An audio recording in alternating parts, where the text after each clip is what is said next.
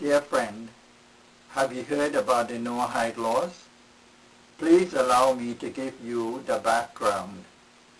Chabad Lubavitch is an organization, but it is more than that. It is a philosophy and a movement. This movement is very forceful in Jewish life today.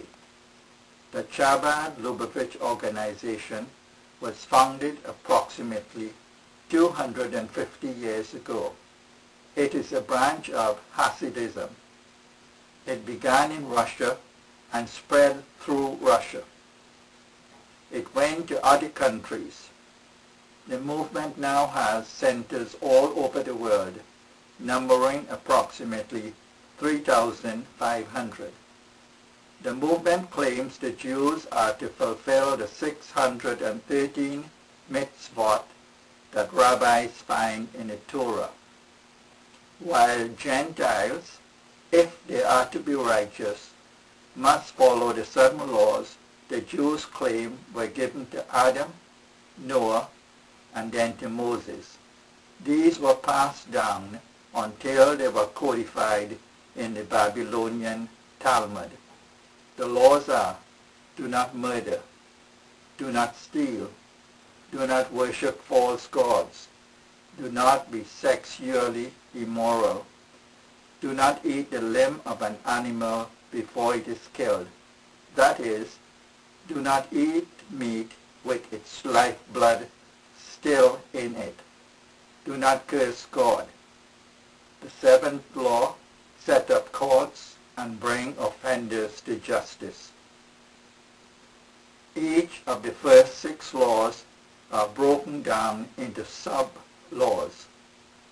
A major country has already officially approved the Noahide laws through a democratic process. To find out the name of the country and to receive more information on the Noahide laws, please Google Noahide laws USA government. Why should Christians be interested in the Noahide laws? we should be interested because believers of this age could be exposed to the Noahide laws.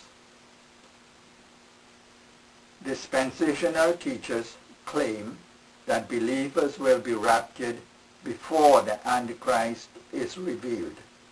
But dispensational teachers are false teachers. The Apostle Paul wrote to the Thessalonians advising them that the Antichrist will be revealed before the rapture takes place. Listen to what he wrote. Concerning the coming of our Lord Jesus Christ and our being gathered to him, we ask you, brothers, not to become easily unsettled or alarmed by some prophecy, report, or letter supposed to have come from us saying that the day of the Lord has already come. Don't let anyone deceive you in any way, for that day will not come until the rebellion occurs and the man of lawlessness is revealed, the man doomed to destruction. 2 Thessalonians 2, 1 to 3. The Apostle John in the book of Revelation recorded concerning the Antichrist. He was given power to make war against the saints and to conquer them. And he was given authority over every tribe, people, language, and nation. If anyone is to go into captivity, into captivity he will go. If anyone is to be killed with a sword, with a sword he will be killed. This calls for patient endurance on the part of the saints who obey God's commandments and remain faithful to Jesus. Revelation 13, 7 and 10, Revelation 14, 12. If you are alive when the Antichrist is revealed, and he enforces the Noahide laws since they are already in place. Will you be faithful to Jesus? The Bible informs us about the Antichrist. He will speak against the Most High and oppress his saints and try to change the set times and the laws. The saints will be handed over to him for a time, times, and half a time. Daniel 7:25. You see those who formulated and proposed the Noahide laws placed their trust in monotheism, one God, singular. But born-again believers place their confidence in Trinitarianism, one God revealed in three persons, God the Father, God the Son, Jesus Christ, and God the Holy Spirit. Faithfulness to Jesus could result in death. What about reading the Bible? What about witnessing? What about going to church? If you participate in those activities under court, the death penalty will be the consequence. Believers, be comforted by the words of Jesus. Then you will be handed over to be persecuted and put to death, and you will be hated by all nations because of me. At that time many will turn away from the faith and will betray and hate each other. And many false prophets will appear and deceive many people.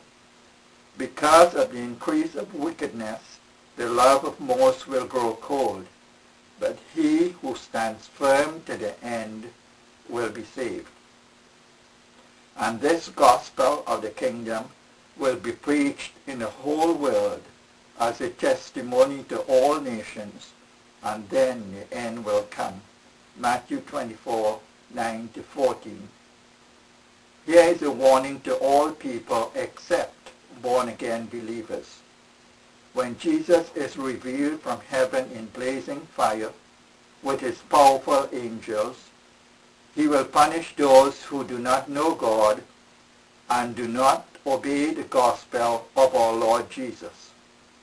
They will be punished with everlasting destruction.